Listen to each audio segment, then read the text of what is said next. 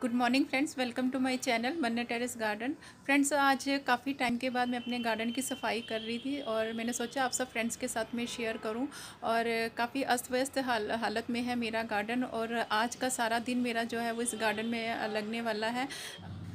और फ्रेंड्स ये आप देख सकते हैं मेरे गार्डन की हालत कैसी है। और सारा मैंने अस्त व्यस्त किया हुआ है। और बस इसी दौरान मैं अपने गार्डन की आ, कुछ सफ़ाई वगैरह भी कर लूँगी।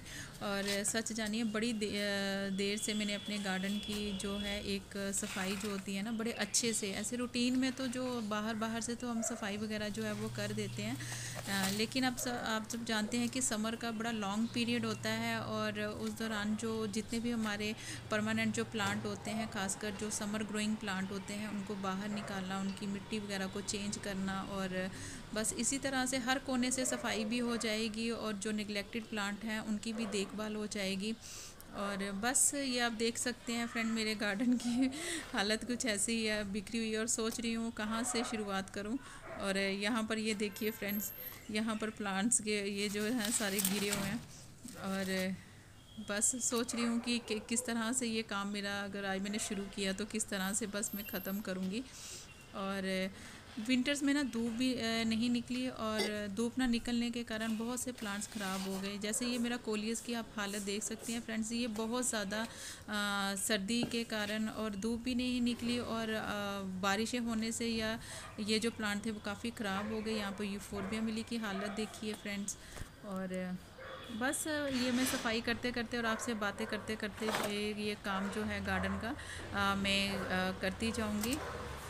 यहाँ पर मैं एक अपना ये पिटूनिया प्लांट भी आपको बताऊँगी कि इस बार मेरे पिटूनियाज में ना इतने ज़्यादा जो है ना फ्लावरिंग नहीं हुई। ना जाने क्या कारण था। एक कारण तो मुझे पता है कि इनमें मतलब कि बिल्कुल भी जो धूप थी वो बिल्कुल भी नहीं निकली। हालाँकि अब धूप आ रही है, लेकिन कलियाँ भी बनी हुई हैं, लेकिन फिर भी वो ब्लूमिंग नहीं हो रही है जितनी मोस्टली हमारे प्लांट्स पर ये जो खास कर पिटूनिया के प्लांट थे, उनमें ब्लूमिंग होती है। देख सकते हैं फ्रेंड्स आ रहे हैं, लेकिन फिर भी ड्राई अपने आप ही सूख कर गिर रही हैं।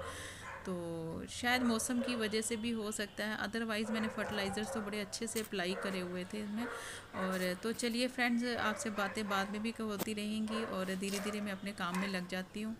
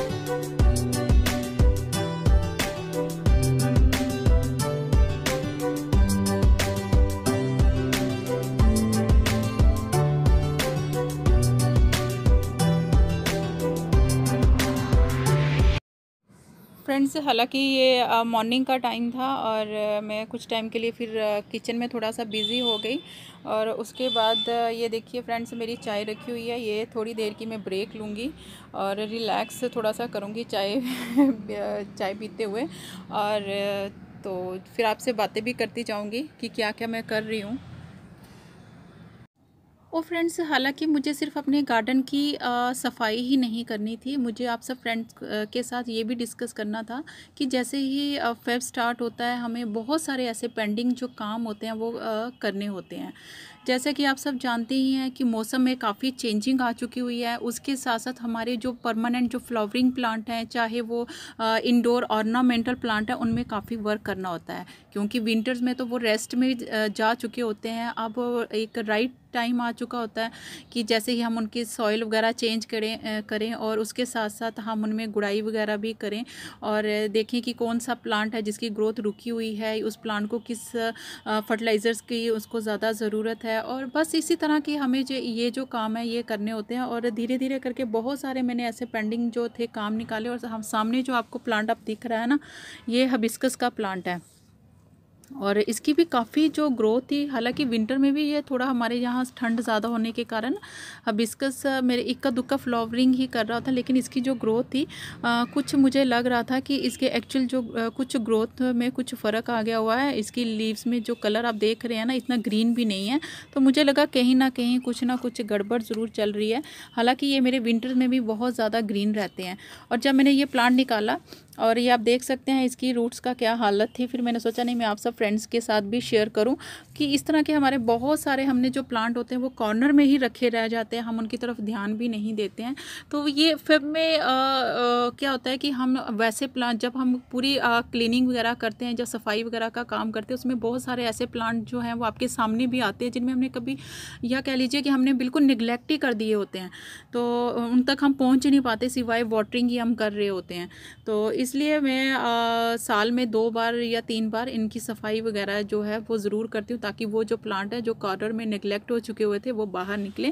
और आज ये देखिए फ्रेंड्स आज मैं इसकी मिट्टी भी चेंज करना चाहती हूँ। आप चाहे देखिए काम तो कभी ख़त्म नहीं होंगे लेकिन हाँ आप एक एक करके अगर अपने पॉट निकालेंगे तो ये काम भी बिल्कुल फिनिश हो जाएँगे। हालाँकि ये इस तरह के काम जो होते हैं वो काफ़ी हार्डवर्क होता है। तो ये देखिए फ्रेंड्स आपके सामने अब हिबिस्कस का प्लांट है। अब मैं इसकी मिट्टी को भी चेंज करूँगी, इसमें फर्टिलाइज़र्स वगैरह भी अप्लाई करूँगी ताकि ये जो प्लांट है, वो इसकी जो ग्रोथ है, वो थोड़े से अच्छे से हो जाए आने वाले टाइम में। तो बस इसी तरह से मैं छोटे छोटे धीरे धीरे काम जो है वो सारे वो कर रही हूँ। हालाँकि मैंने पॉट भी रखा हुआ है, मिट्टी वगैरह भी रखी हुई है। और फ्रेंड्स ये आप देख सकते हैं, ये मैंने जो पॉट जिस पॉट में ये मेरा जो प्लांट था, वो लगा हुआ था। तो ये देखिए फ्रेंड्स उसकी रूट्स भी बिल्कुल इस पॉट के बिल्कुल होल से बिल्कुल बाहर आ चुकी हुई थी फ्रेंड्स मे भी ये भी कारण था कि उसकी जो ग्रोथ थी, वो कुछ अच्छे से नहीं हो रही थी। तो ये भी आप ज़रूर अपने प्लांट्स पॉट्स में ज़रूर चेक करें कि उसका जो ड्रेनेज होल है वो भी बिल्कुल ठीक होना चाहिए। ये देखिए फ्रेंड्स, ये बिल्कुल आप ये देख सकते हैं। तो इस तरह के ये छोटे छोटे जो काम होते हैं, ये बस थोड़े से ध्यान रखने होते हैं।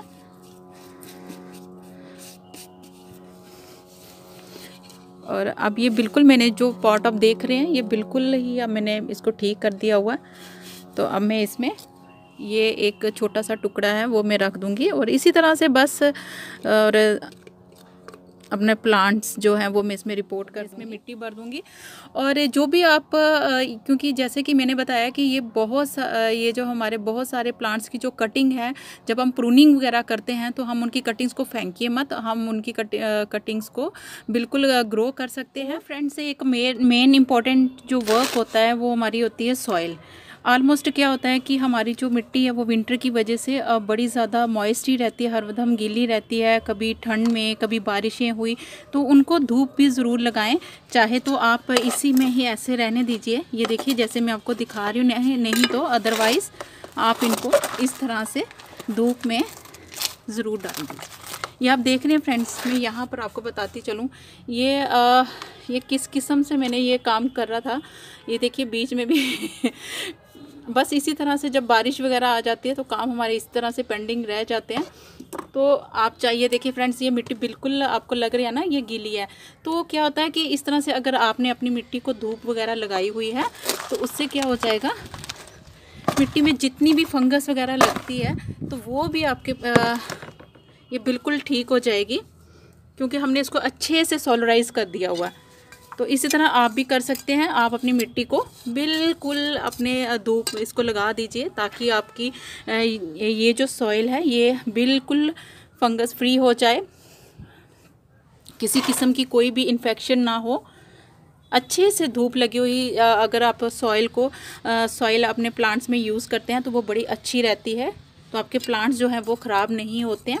हमारे तो विंटर्स में इतनी ज़्यादा धूप निकली ही नहीं, जिसके कारण हमारी जो मिट्टी थी वो काफ़ी गीली रहती थी और मुझे ट्रांसप्लांट करने में बड़ी मुश्किल होती थी। बड़ी मुश्किल से थोड़ी थोड़ी मिट्टी को मैं सुखा के इस तरह से करती थी।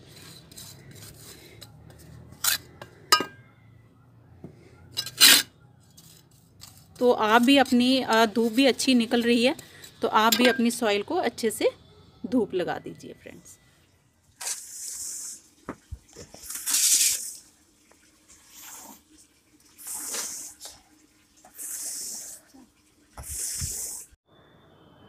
तो फ्रेंड्स, ये आप देख सकते हैं, फाइनली मैंने अपने गार्डन की सफ़ाई कर दी हुई है और इस सफ़ाई को करने में मेरा दो दिन का समय लगा है और पॉट्स को मैंने उनको, उनकी जगह पे ही अरेंज कर दिया कुछ ख़ास ज़्यादा मैंने चेंजिंग नहीं करी है बिकॉज़ ये मैं काम धीरे धीरे ही करूँ, करूँगी और अभी ये देख ही सकते हैं काफ़ी प्लांट्स जो हैं वो हल्के भी हो गए हैं और मुझे, और सच सच बताओ मुझे काफ़ी सेटिस्फेक्शन भी मिली है क्योंकि काफ़ी टाइम से मैंने इन प्लांट्स की तरफ़ ध्यान भी नहीं दिया हुआ था और धीरे धीरे जो नेगलेक्टेड प्लांट थे वो सारे निकाले मैंने और उनकी कुछ की रिपोर्टिंग करनी थी और कुछ की मैंने सॉइल वगैरह ही सिंपल थोड़ी सी चेंज करी या कुछ की जिसको गुड़ाई की ज़रूरत है उसको गुड़ाई भी करी और इसी दौरान पानी भी आ गया और पानी से मैंने जितने भी प्लांट्स हैं, उनको अच्छी तरह से वॉश कर दिया क्योंकि बड़े डस्ट डस्ट डस्ट उनके ऊपर आ गई हुई थी।